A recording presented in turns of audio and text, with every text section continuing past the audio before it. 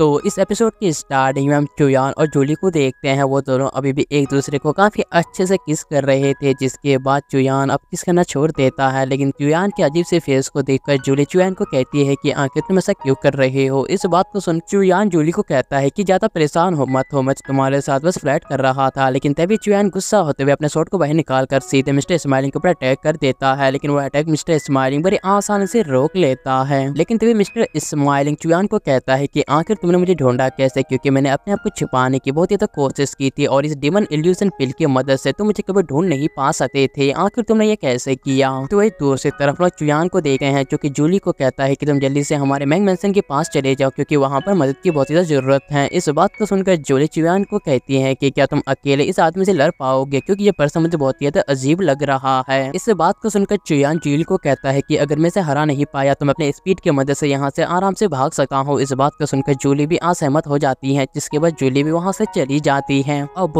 जूली के जाते ही चुयान बहुत ज़्यादा गुस्से में होकर अपने कोड फॉर्म में ट्रांसफॉर्म हो जाता है, जिसके बाद चुयान उस मिस्टर स्माइलिंग को कहता है कि, आखिर तुम अपने आप को कैद करके क्यों रखते हो? तुम्हारा मुँह बहुत ज़्यादा बोलता है। लेकिन तभी मिस्टर स्माइलिंग बात को बदलते हुए कहता है कि, अरे हाँ अरे हाँ अब मुझे पता चला तुम्हारे टाइम गॉड ने स्पेस टाइम का यूज़ किया, जिसकी वजह से तुम मुझे ढूंढ पाए। लेकिन इस बात को सुनकर चुयान को गुस्सा आ जाता है और उसी तरह मिस्टर स्माइलिंग के ऊपर अटैक कर देता है। अब देखते ही देखते चुयान लगातार मिस्टर स्माइलिंग के ऊपर अटैक पे अटैक किए जा रहा था, लेकिन मिस्टर स्माइलिंग चुयान के हर एक अटैक से बचते हुए चुयान को कहता है कि मैं मानता हूँ कि तुम मुझे हर बार बहुत ही चौका देते हो। लेकिन इसी के साथ मिस्टर स्माइलिंग चुयान के हर एक अटैक से बचता जा रहा था, जिसके बाद वो थोड़ा दूर जाकर चुयान को कहता है कि मैं तुम दोनों को एक साथ मारना चाहता था, लेकिन इसका पता तुम्हें बहुत ही जल्द पर तुम्हें बहुत ही जल्द चल चुका है। इसका मतलब ये है कि तुम एक बार पहले ही मेरे हाथों से मर चुके हो, इतना कहकर वो अपने बड़े बड़े डेंटिकल्स को बाहर निकाल कर सीधे चुयान के ऊपर अटैक करना चालू कर देता है। लेकिन इसी के साथ मिस्टर इस्माइलिंग की बातों को सुनकर चुयान काफ़ी ज़्यादा हैरान हो जाता है और सोचने लगता है की आखिर इसके इस सब बातों का क्या मतलब हो सका है। तो वही दूसरी तरफ़ मिस्टर इस्माइलिंग हँसते हुए चुयान के ऊपर लगातार अटैक पटैक किए जा रहा। लेकिन फिर मिस्टर इस्माइलिंग चुयान को कहता है कि इसका मतलब मैंने तुम्हारे टाइम गॉड को अपने स्पीड एंड टाइम का इस्तेमाल करने पर मजबूर कर ही दिया। लेकिन इसी के साथ हम देखते हैं कि मिस्टर स्माइलिंग चुयान की इन सब बातों को सुनकर बहुत ही गुस्से में आ जाता है और लगातार अपने बड़े बड़े टेंटिकल्स की मदद से चुयान के ऊपर लगातार अटैक पटैक किया जा रहा था तो वही दूसरी तरफ़ चुयान अपने आप को उसके अटैक से बचाने में काफ़ी ज़्यादा मुश्किलों का सामना कर रहा था। जिसके बाद चुयान गुस्सा हुए कहता है कि सबसे पहले मैं तुम्हारे सिर को काटूँगा, उसके बाद तुम्हारे मुँह को चीरूँगा, क्योंकि तुम बहुत ही ज़्यादा बोलते हो। लेकिन इस बात को सुनकर मिस्टर स्माइलिंग हँसते हुए कहता है की अरे नहीं, तुम ऐसा नहीं कर सकते, क्योंकि बहुत ज़्यादा इम्पॉसिबल है इतना कहकर वो अपने बड़े बड़े टेंटिकल्स को ज़मीन के अंदर से निकालता है और चुयान के ऊपर अटैक करने के लिए भेज देता है। तो वही दूसरी तरफ़ हम लोग चुयान को देखते हैं, जो अपने थंडर डिस्ट्रक्शन शॉर्ट के सेकंड मूव का इस्तेमाल